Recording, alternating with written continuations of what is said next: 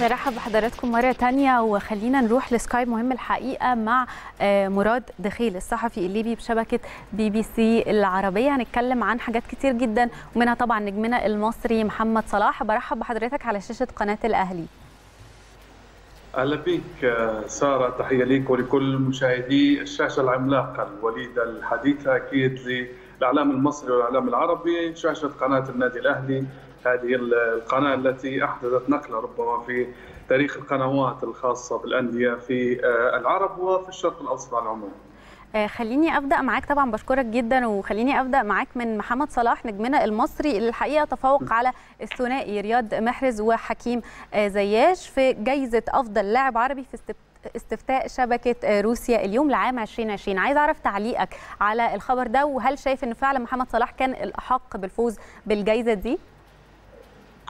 شوفي هو محمد صلاح يعني منذ قدومه لليفربول وهو يحقق الألقاب سواء كانت فردية أو جماعية مع فريق ليفربول اللي شاهدناه ربما بشكل مختلف ومغاير عن السنوات الصعابه اللي عاشها ليفربول في الآونة الأخيرة.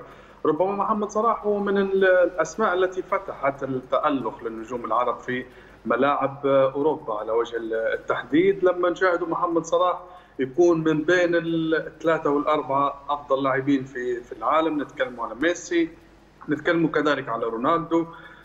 ربما صلاح الشيء الفارق في محمد صلاح وأنا على الصعيد الشخصي دائما ما أثني على هذه النقطة تحديدا وهي نقطة المنشأ البداية من من البلد الأم يعني على عكس اللاعبين الآخرين. لدينا لاعبين عرب كثر في أوروبا لكن محمد صلاح يتفوق في جزئية وهو انه بدأ من الدوري المصري بدأ من مدرسة المقاولون العرب حتى وصل إلى ليفربول إلى ربما أعرق المدارس الكروية في في العالم. وهذه نقطة ربما تحسب لمحمد صلاح وبدأنا نشاهد ربما أداء مميز للاعبين عرب آخرين في في في الملاعب الأوروبية. لكن إحنا دائما نتكلم عليه اللاعب الذي بدأ من الصفر خلينا نقول دائما ما نعرف أن الدوريات العربية صعب جدا إن نشاهد منها لاعب يصبح من بين أفضل ثلاثة أو أربع لاعبين في العالم مش لموسم واحد فقط بل لسنوات. فأعتقد أن محمد صلاح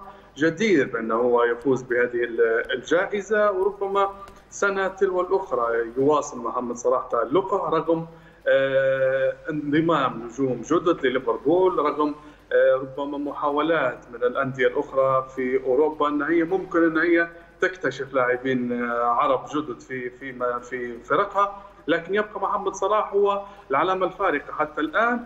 والشيء الفارق الآخر هو المستوى التصاعدي اللي ما زال يقدمه محمد صلاح. وأعتقد إننا سنشاهد سنشاهده ربما في مستويات أعلى وأكبر في قادم المواعيد. إن شاء الله، أكيد عايزة أسألك وإحنا بنتكلم على مكاسب الكرة العربية، أنت شايف من وجهة نظرك إيه مكاسب الكرة العربية في ظل تألق محمد صلاح ورياض محرز وحكيم زياش في البريمير ليج، وطبعا بنتمنى زي ما أنت قلت يبقى في تاني اهتمام أكبر باللعيبة العرب علشان نشوفهم في أندية عالمية زي طبعا صلاح وزياش ومحرز.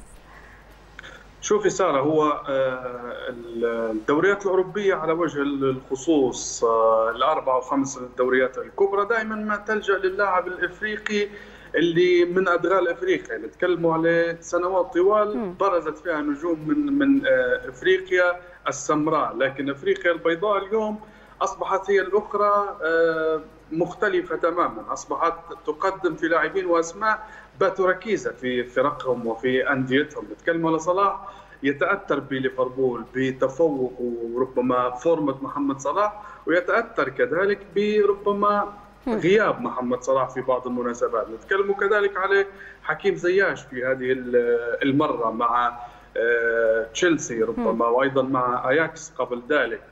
تشيلسي بدأ يتأثر بحكيم زياش وأصبح يعتمد عليه اعتماد كلي في في في الفريق. أيضا نتكلم على إسماعيل بن ناصر اللاعب الجزائري اللي هو الآخر يعتبر دينامو في في في إي سي ميلان الإيطالي وهو ركيزة أساسية يتأثر ميلان بغياب كذلك إسماعيل بن ناصر. نتكلم كذلك على حارس المرمى. حتى على مستوى حراسة المرمى بدأنا نشاهد حراس عرب يتألقون. نتكلم على المغربي ياسين بونو الحارس اللي توج وكان سبب رئيسي في ان إشبيليا يتوج بلقب اليوروبا ليج في النسخة الماضية. وتألق كبير ربما أيضا حتى لزميله يوسف النصيري. أيضا في جانب آخر نتكلم عليه. لاعب ليبي بدأ بداياته كبدايات محمد صلاح. نتكلم عليه بداية المنشأ وهو اللاعب المعتصم المصراتي اللي يقدم في مستويات كبيرة. بدأ من الدوري الليبي من فريق الاتحاد الليبي حتى انتقل إلى أوروبا. مباشرة من ليبيا إلى البرتغال.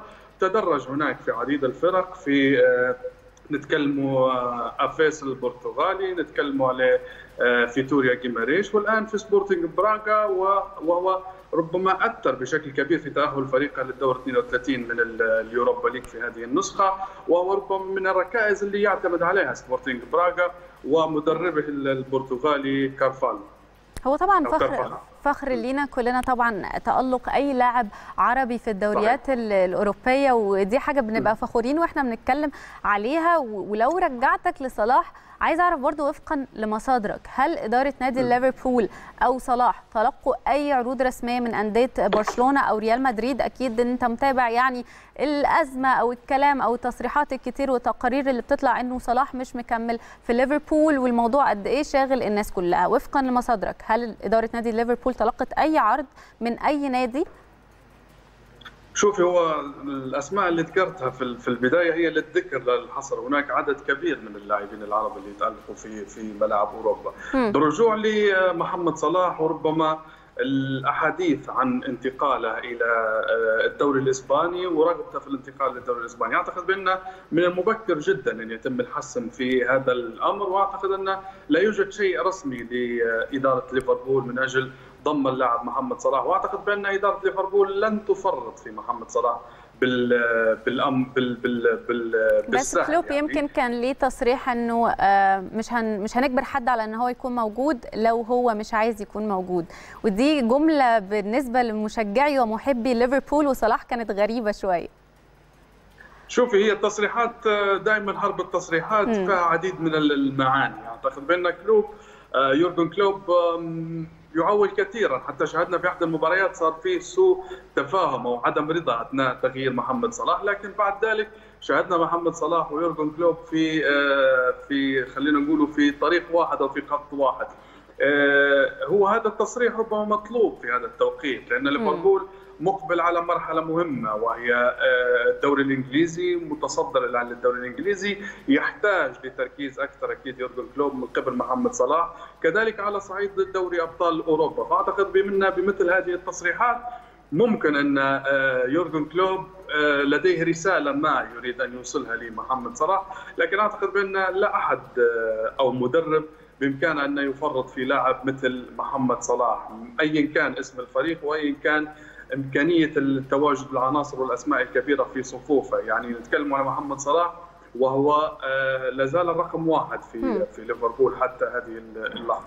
طب خليني أسألك كمان على نجمنا المصري تريزيجيه هل فعلا على حسب التقارير ما بتقول إن هو طبعا هو نجم أستون فيلا قرب من إن هو يروح نادي جالاتا سراي التركي؟ شوفي هو الأتراك مع مصر دائما في علاقة بيحتاجوا للاعب المصري، نتكلم الآن حتى على تقارير أخرى تشير بأن بشكتاش التركي يريد أيضا الاستفادة والعودة بالنسبة لمحمد النني إلى صفوف بشكتاش. بعد أن استعاد ربما النني مركزه الأساسي في في أرسنال وبعد ما أعاد أرتيتا اكتشاف محمد النني من جديد وبات يقدم في مستويات مهمة لكن مع هذا لازال بشكتاش يحاول. بالنسبة لتريزيجيه تريزيجيه تألق في في إبعاد فريقه من من الهبوط في الموسم الماضي. وأنقذ الفريق من الهبوط. فريق أستون فيلا فريق عريق ربما في الدوري الإنجليزي وفي الكرة الإنجليزية. أعتقد بأن تريزيجيه من الأفضل أن يفكر فيما هو أفضل من من الدوري التركي. هو موجود الآن في مكانه مكانة كبيرة جدا في في البريمير ليج وبإمكانه إن هو يفتح آفاق للتواصل لو أراد تغيير الأجواء بالانتقال لأحد الفرق الأخرى في في الدوري الإنجليزي. لكن أعتقد كذلك تريزيجيه ما زال من المبكر إنه هو يحسم ملف رحيله عن أستون فيلا.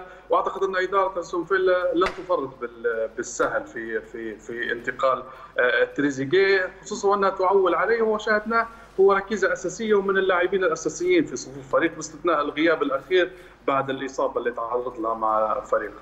بشكرك جدا مراد دخيل طبعا الصحفي بهيئة بي بي سي أو الإذاعة البريطانية.